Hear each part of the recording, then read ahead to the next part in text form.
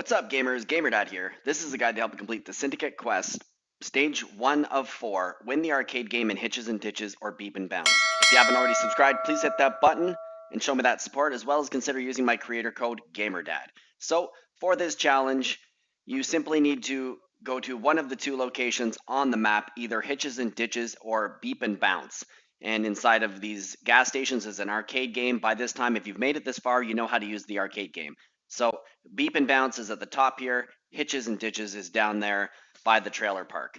So I'm going to go way up here away from the battle bus line. You could, I would use that as a measure of where you should start. But if you're going to follow along with me, I suggest you follow me up here. So here's Beep and Bounce. It's right at the northern edge of the map. And I like it because it's far away from that battle bus line. And just being at the edge of the map, it also has a you know potential for less players showing up while you're playing the arcade game and shooting you in the head from behind and killing you. So you're going to come in here right off the bat. If you hear players or see players, be ready for a fight. If you don't, it's still good to be prepared. So look at the roof here. Often there's um, there's loot. Usually, or you're hoping for weapons. In this case, I didn't see a single weapon, so I skipped it. Now I see this chest, so immediately I'm going to open this chest, get myself a weapon, and then I'm going to head in on head on inside. Also, I'm going to take any other weapons that are there for other players to, you know, then use on me. So there's the arcade ga uh, game right here.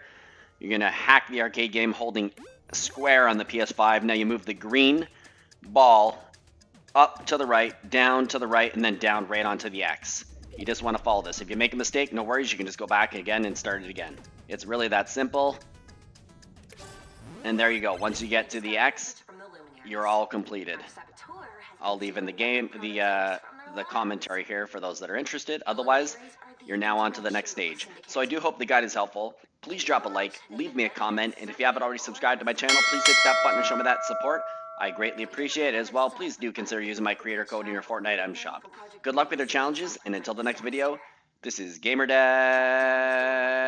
out. That'll win them over.